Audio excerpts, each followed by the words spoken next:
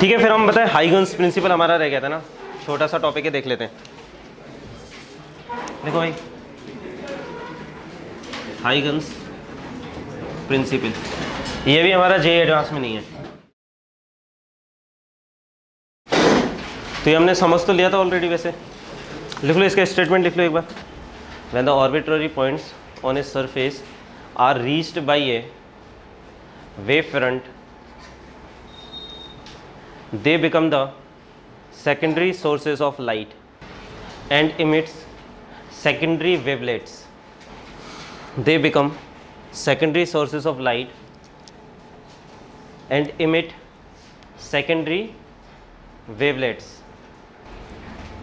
the further disturbance in space is given by the superposition of these secondary wavelets. देखो क्या कहना चाह रहे हैं? मान लो तुमने यहाँ पे सोर्स रख दिया है ना। अब सोर्स है सोर्स तो लाइट इमिट करेगा। तो इसके से स्पेरिकल वेव फ्रंट्स है ना। अब क्या है, जैसे यहाँ पर है, अभी तो यहाँ पे पता है स्पेस से यहाँ तक लाइट नहीं पहुँची। तो ये नॉर्मल पॉइंट्स हैं स्पेस के। पर जैसे ही यहाँ पे ये वाला वेव फ्रंट अब थोड़ी देर बाद ये वाला वेव फ्रंट आगे ट्रैवल करेगा और रेडियस में बड़ा हो जाएगा। जैसे ही ये वेव फ्रंट यहाँ पे पहुँचेगा तो इस जगह पर जितने भी पॉइंट्स थे, ये सारे के सारे पॉइंट्स सेकेंडरी सोर्स की तरह बिहेव करने लगेंगे। मतलब एक तरह से समझ लो इस वेव फ्रंट पे खुद इन्फानाइट लाइट के सोर्सेस हैं। ऐसे सोच सकते हो तुम्हें ना देखिए, अब आगे का डिस्टर्बेंस तुम्हें किस तरह से दिखेगा? मतलब लाइट आगे किस तरह से प्रोपोकेट करेगी? ये पता करने के लिए क्या करो? इस वेब फ्रंट पे बहुत सारे सोर्सेज हैं। अब ये सारे भी पॉइंट सोर्सेज हैं। तो इन सब इन सबसे भी वेव फ्रंट्स निकल रहे होंगे। है ना, इस तरीके से। और हमने तो सिर्फ़ चार पाँच दिखाए हैं। असलियत में इन्फानाइट है ऐसे, है ना? उन सबका सुपरपोजिशन हो रहा है। ठीक है? तो अब ये इन्फानाइट सोर्सेज से जो और बहुत सारे वेव फ्रंट्स निकल रहे हैं ना। इनको हम वेवलेट्स बोलते हैं सेकेंडरी वेवलेट्स है ना? सेकेंडरी वेव फ्रंट्स इन सब का जो सुपरपोजिशन होगा, वो तुमको अब नए वेव फ्रंट्स देगा। जैसे इस पॉइंट पे अगर इन सबका सुपरपोजिशन देखें तो वो कुछ इस तरीके से होगा। अब मैंने उतना अच्छा डायग्राम नहीं बनाया। तो तुम्हें इसका अगला वाला वेव फ्रंट मिल गया। समझ में आया क्या? मतलब थोड़ी देर बाद ये ऐसा हो जाएगा। तो बस यही था। और इसमें कुछ हाईगन्स ने थोड़े से एजम्पन्स माने थे, जो एक तरह से ड्रॉबैक भी थे उसके थेरी के, कि ये वेव फ्रंट से फॉरवर्ड डायरेक्शन में ट्रैवल करते हैं बैकवर्ड डायरेक्शन में नहीं करते। ये मान के चलना है, तभी निकल के आता है। ठीक है? बस इतना ही है, बना लो। इसी के बेसिस पे तो वाई डी और सिंगल सिलेट डाइफ्रेक्शन समझ में आता है। ये न्यूटन के जो लॉज ऑफ़ रिफ्लेक्शन थे, वो आए थे 1645 में आए थे, शायद, है ना? और ये तीन साल बाद आया था हाईगन्स प्रिंसिपल 1648 में। एग्जैक्टली याद नहीं मुझे, पर ये पता है कि तीन साल का गैप था इनके बीच में ना, और दोनों 1600s के थे।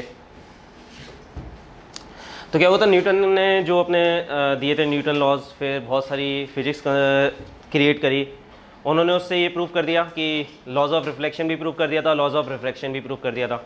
न्यूटन ने अपनी थियरी से ना। मतलब लाइट की हम जितनी भी प्रॉपर्टीज़ उस समय ऑब्ज़र्व करते थे, वो सारी की सारी न्यूटन के लॉज से हम एक्सप्लेन कर पा रहे थे ना? और न्यूटन ने लाइट को क्या माना था? कॉर्पसल्स माना था ना पार्टिकल तो वो सारी चीज़ एक्सप्लेन हो रही थी।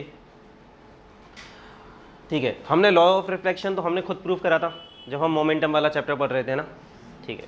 अब देखो, यहाँ पे हाईगन्स ने जब तीन साल बाद जो थेरी थी हाईगन्स ने लाइट को वेव माना और इस तरह से माना। अब हम इससे भी प्रूव कर सकते हैं लॉ ऑफ़ रिफ्लेक्शन और लॉ ऑफ़ रिफ्लेक्शन तो देखते हैं कैसे करेंगे। तो लिखो proof of law of reflection using Huygens principle wave front मतलब तो समझते हो ना? वो सारे पॉइंट जो सेम फेस में वाइब्रेट करते हैं। और वेव फ्रंट हमेशा डायरेक्शन ऑफ़ प्रोपोगेशन के परपेंडिकुलर होता है। ठीक है लॉ ऑफ़ रिफ्लेक्शन प्रूव करेंगे अपन।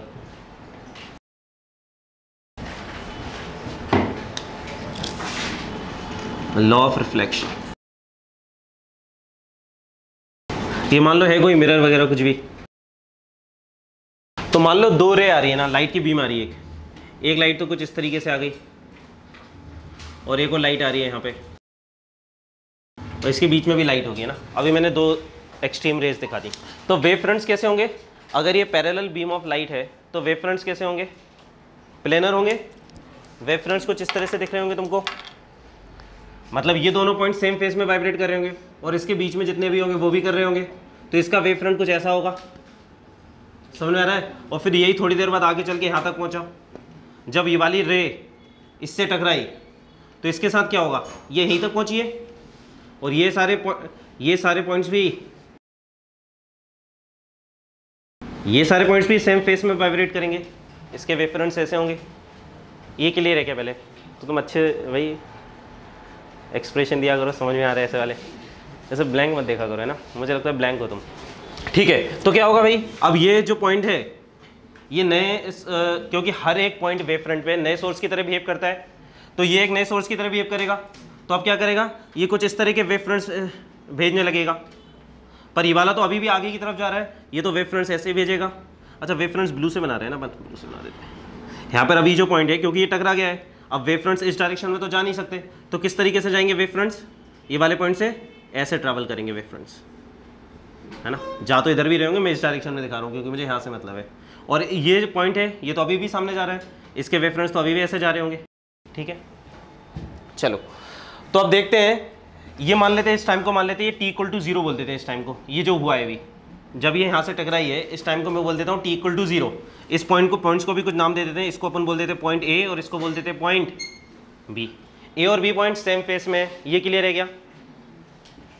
ये क्लियर है ना सबको? सेम वेव फ्रंट पे लाई कर रहे हैं। Phase of A equal to phase of B अब मैं देखता हूँ कि इसको यहाँ से यहाँ तक पहुँचने में कितना टाइम लगेगा। ठीक है? तो मान लेते हैं, इसको यहाँ से यहाँ तक पहुँचने में कुछ कुछ भी मान लो, t इक्वल टू टी रेश पे ये यहाँ पर पहुँच जाता है। ठीक है? अब ये वाला तो रिफ्लेक्ट ऑलरेडी होने लगा था। तो जितने टाइम में ये यहाँ से यहाँ तक पहुंचेगा, उतने टाइम में हमारी हमारी ये वाली रे कहाँ पहुँच जाएगी? से कुछ यहाँ पे पहुँच जाती है। रिफ्लेक्ट होके। इतने आगे नहीं, कुछ ऐसी पहुँच जाती है ना। से कहीं यहाँ पे पहुँच गई। इस पॉइंट को नाम दे देते हैं सी और इस पॉइंट को नाम दे देते हैं डी अच्छा मुझे ये चीज़ बताओ, और सी और डी का वेव फ्रंट कैसा हो जाएगा फिर तुम्हारा? क्योंकि ये सेम फेस में है। ये वेव फ्रंट कुछ ऐसा हो जाएगा तुम्हारा। ये इंसिडेंट रे का वेव फ्रंट था, ये रिफ्लेक्टेड रे का वेव फ्रंट है। अच्छा ये बताओ, ये रफ डायग्राम है ना तो बहुत ज़्यादा अच्छा ना देख रहा हो, ऐसा हो सकता है तुम्हें। क्या सी और डी भी सेम फेस में होंगे? मैं बोल रहा हूँ, जिस समय जिस समय ये वाली रे यहाँ पर पहुँची, उस समय ये रे डी पॉइंट तक पहुँच रही है। मतलब ये दोनों पॉइंट जो मैं दिखा रहा हूँ, वो सेम टाइम पे है। टी इक्वल टू टी रेश में। तो क्या सी और डी का भी फेस सेम होगा? हम्म? मुझे जहाँ तक है हाइगन्स प्रिंसिपल के टाइम पे जिस समय ये थेरी दी थी, उस समय ये वाली बात थी नहीं कि पाई का फेस चेंज होता है रिफ्लेक्शन पे। बट मैं आगे कंफर्म कर दूँगा ना। अभी के लिए इसको इग्नोर मारते हैं। ठीक है? तो अगर उस चीज़ को भूल जाए। तो क्योंकि इसने से इतने टाइम में कितना डिस्टेंस लाइट की स्पीड मान लेते हैं वी है तो उसने इतने टाइम में कितना डिस्टेंस ट्रैवल करोगा? बी सी क्या हो जाएगा तुम्हारा? वी टी डैश और ए डी क्या हो जाएगा तुम्हारा? बी टी डैश तो जो ये यहाँ का जो wave front T dash time में यहाँ तक पहुँचा है और उतने ही टाइम में ये वाला वेव फ्रंट यहाँ पे पहुँचा है तो ये दोनों सेम फेस में होंगे ना। ठीक है? ये वाली चीज़ क्लियर है क्या? चलो, ठीक है। तो अब अपन करते हैं ना। एंगल आई हम इसको ही बोलते हैं, जो नॉर्मल से एंगल बन रहा होता है। और एंगल आर किसको बोलते हैं? ये जो रिफ्लेक्टेड लाइट हमारी जा रही है। एंगल आर हमारा ये कहलाएगा। हमको यही तो प्रूव करना है कि एंगल आई और एंगल आर क्या है? बराबर है। ठीक है? तो मान लो, अगर ये एंगल आई है, हमको ये पता है अल्टीमेटली इस इक्वेशन से हमको क्या पता चल रहा है? बी सी और ई डी क्या है? बराबर। अब इसको किसी तरीके से यूज़ करने की कोशिश करते हैं। तो बी सी हमारा ये है और ए डी हमारा ये है ना? तो ये वाला ट्राइंगल देखो, और ये सारे परपेंडिकुलर्स हैं, क्योंकि वेव फ्रंट्स है ना ये तो? ये ये इस पर परपेंडिकुलर है, और ये भी वेव फ्रंट है तो ये भी परपेंडिकुलर है। तो हम क्या करते हैं? हमें पता है इन इन दोनों ट्राइंगल में ट्राइंगल ए बी सी और ट्राइंगल ए डी सी में कॉमन यही है हाइपोटेन्यूज ए सी है। दिख रहा है क्या? ट्राइंगल ए बी सी और ट्राइंगल ए डी सी दोनों राइट एंगल ट्राइंगल हैं और दो, दोनों में कॉमन क्या है? हाइपोटेन्यूज विच इज़ ए सी तो इसको यूज़ करने की कोशिश करते हैं मैं ना ये अगर एंगल आई है तो ये 90 माइनस आई होगा और ये वाला एंगल क्या हो जाएगा? ये भी आई होगा देखो। क्लियर है क्या वाली चीज़? ये परपेंडिकुलर है ना? देखो ब्लू वाली लाइन रेड वाली लाइन पे परपेंडिकुलर है, वो वेव फ्रंट है। तो ये अगर आई है तो ये 90 माइनस आई है। तो फिर ये आई हो जाएगा। ये क्लियर है सबको? तो अब देखो जरा ट्राइंगल कौन सा ट्राइंगल देख रहे हैं अपन? ए बी सी उसमें हम क्या बोल सकते हैं? हमें बी सी चाहिए ना। ट्राइंगल ए बी सी में मुझे बी सी चाहिए। तो बी सी और ए सी में क्या रिलेशन लिख सकते हैं? B C equal to A C sine I. लिख सकते हैं? इसमें किसी को डाउट है? ठीक है। अब देखो ये आर है ये, ये हमारा आर है तो ये 90 माइनस आर हो जाएगा और ये क्या हो जाएगा? आर हो जाएगा। अब कौन सा ट्राइंगल देखना है हमको? अब हमको ट्राइंगल एडीसी चाहिए एक्चुअली ना? और ट्राइंगल एडीसी में क्या निकालना है? एडी निकालना है हमको। एडी कैसे निकाल सकते हैं बताओ? नहीं आर ये नहीं होगा पहले तो ट्राइंगल ये है। आर ये होगा। ये आर होगा हमारा। क्लियर है? दिख रहा है? देखो ये वाला ट्राइंगल देखो। आ, ये तुम्हारा आर था तो ये इतना सा एंगल क्या है तुम्हारा? 90 माइनस आर और इस ट्राइंगल को ऑब्ज़र्व करो। ये राइट एंगल ट्राइंगल है। तो ये एंगल आर हो गया। आ रहा है समझ में? अभी अभी समझो भाई ये वाला आर है तो ये 90 माइनस आर होगा। होगा ना? और ये वाला ट्राइंगल देखो ट्राइंगल ए ये राइट एंगल ट्राइंगल है। अगर ये 90 माइनस आर है तो ये वाला एंगल कितना होगा? आर अब क्लियर है क्या? पक्का? तो इन ट्राइंगल कौन सा ट्राइंगल है भैया? ए डी सी इसमें हमको क्या निकालना है? ए डी ए डी को क्या बोल सकते हैं? बताओ. A D is equal to A C sine R बस इन दोनों को उठा के क्या करो? इन दोनों को उठा के यहाँ पे सब्सटीट्यूट कर दो. तो फ्रॉम फ़र्स्ट एंड सेकंड क्या लिख सकते हैं? B C is equal to A D है. तो हमारा आ जाएगा A C sine I is equal to A C sine R तो कितना आ गया तुम्हारा? आई इक्वल टू आर यही था हमारा लॉ रिफ्लेक्शन ये हमने हाइगन्स प्रिंसिपल से प्रूव कर दिया। लिखो जल्दी से। यहाँ पे हमारा ए और बी सेम फेस में थे और सी और डी सेम फेस में थे, क्योंकि सेम वेव फ्रंट पे लाई कर रहे थे वो लोग।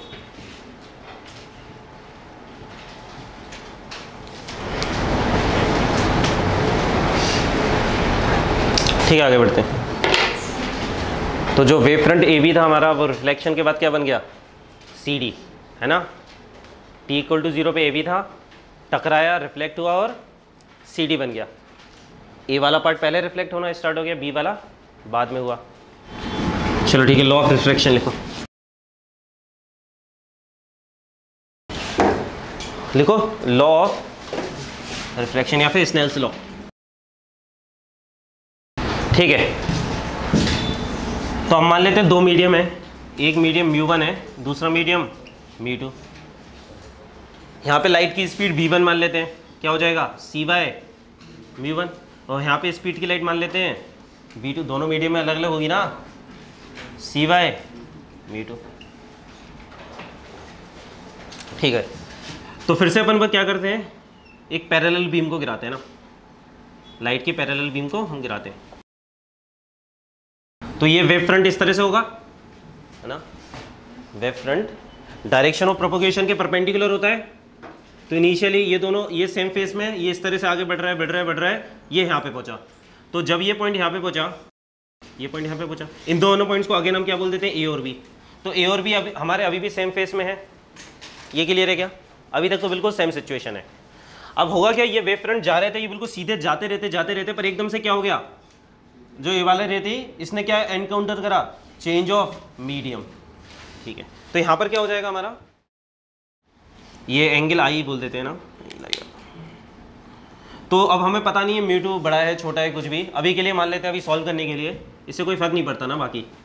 क्योंकि हमें एक डायग्राम तो बनानी है, कोई ना कोई। म्यू को मान लेते हैं म्यू से ज़्यादा है। ठीक है। तो उसी हिसाब से हम डायग्राम बना देते हैं।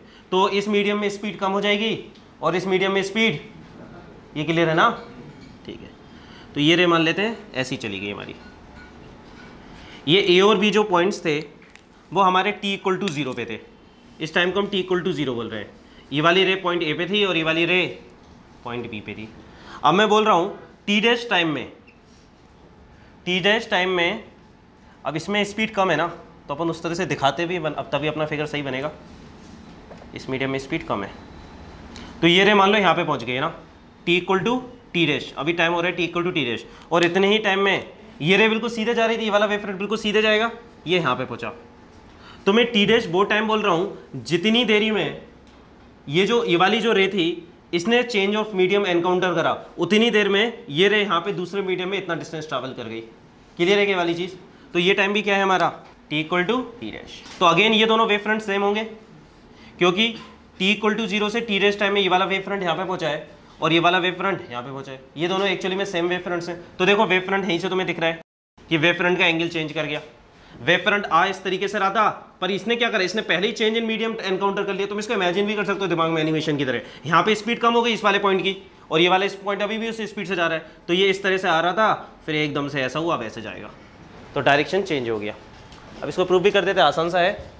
इस पॉइंट को क्या बोलते हैं? सी और इसको डी अगेन हम बोल सकते हैं, भाई सी और डी का भी फेस सेम होगा। क्लियर है क्या ये? तो बता दो भाई ए सी डिस्टेंस कितना होगा? ए सी कितना होगा, बताओ जल्दी से। V two into T dash क्योंकि इस मीडियम में लाइट किस स्पीड से ट्रैवल कर रही है? वी टू से। तो V two into T dash और बी डी कितना होगा हमारा? V one into T dash ये क्लियर है? अगेन हम करते हैं भाई। ये देखो, ये तो हमारा राइट एंगल ट्राइंगल है, क्योंकि वेव फ्रंट है, ये भी हमारा राइट एंगल ट्राइंगल है। दो ट्राइंगल कंसीडर करो यहाँ पे। मैं चाहता हूँ कि तुम लोग इसको खुद से प्रूव करने की कोशिश करो। आगे तुम खुद सोचो क्या करने वाले हो। इसने स्लो प्रूव प्रूव करना है। एक बार ट्राइंगल क्या लो? एक बार ट्राइंगल ए को कंसिडर करना। और दूसरी बार ट्राइंगल ए को कंसिडर करना। अब आगे क्या करना है, ये तुम खुद से सोचो। मुझे स्नेल स्लो प्रूफ चाहिए। स्नेल स्लो का प्रूफ करो। हो गया? ठीक है, देखो। ट्राइंगल ए में हमको क्लियरली दिख रहा है। मुझको चाहिए, मुझको एसी और बीसी चाहिए। अरे, गलत लिख रहा है। ए सी थोड़ी है बी डी है। बी डी है। ए सी और बी डी चाहिए ना। बी डी क्या हो जाएगा, बताओ जल्दी से। ये आई है तो ये भी आई होगा। है ना? तो बी डी हम क्या लिख सकते हैं?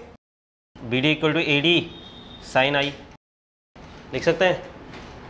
और ट्राइंगल ए में क्या लिख सकते हैं भाई? ये तुम्हारा एंगल आर है। अगर ये आर है तो ये क्या हो जाएगा? 90 माइनस आर और ये भी क्या हो जाएगा?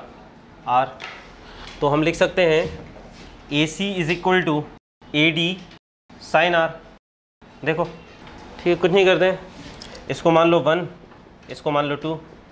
वन और टू को डिवाइड कर देते हैं। वन डिवाइडेड बाई टू क्या आ जाएगा?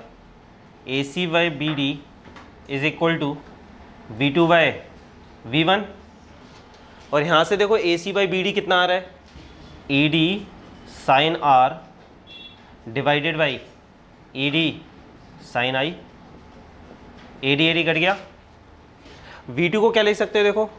सी बाई म्यू टू और वी वन को सी बाई म्यू वन तो इसको हम ऐसे भी लिख सकते हैं mu one by mu two is equal to sine R by sine I मेरे ख्याल से यही स्नेल्स लॉ है। इसको आगे कैसे लिख दोगे? Mu one sine I is equal to mu two sine R hence the law of refraction clear है ये? चलो, ठीक है। तो हमारा वेव ऑप्टिक्स ख़त्म हो गया यहाँ पे।